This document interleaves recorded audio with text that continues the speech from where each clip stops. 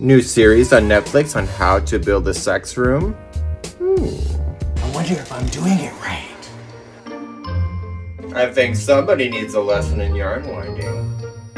Oh, come on. Did you expect anything different? This gets me excited.